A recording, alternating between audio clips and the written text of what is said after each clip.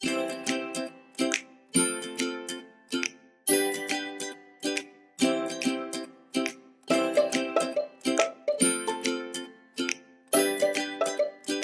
1 is to make a ball. Step 2, forward on the wheel. Step 3 is to cycle. Step 4 is to make a hole in it with your voice.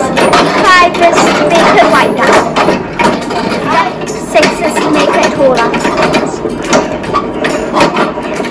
Step 7 is to clean it. Step 8 is to cut it off.